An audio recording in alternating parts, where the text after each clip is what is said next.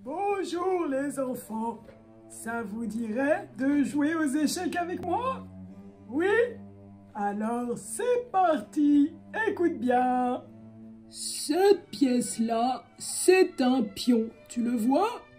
Il peut être blanc ou alors il peut être noir, comme ceci. Maintenant, regarde bien ton échiquier. Tu vas voir, il y a des lettres et des chiffres sur le côté.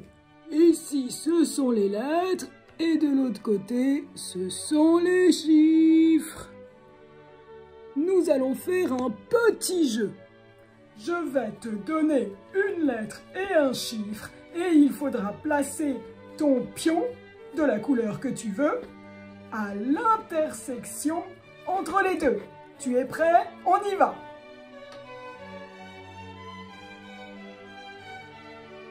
F 5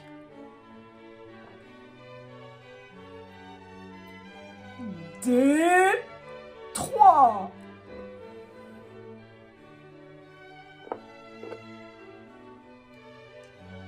H 1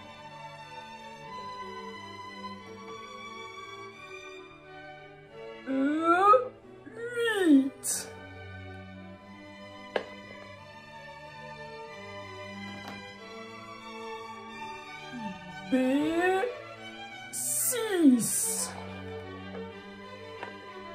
Et un dernier.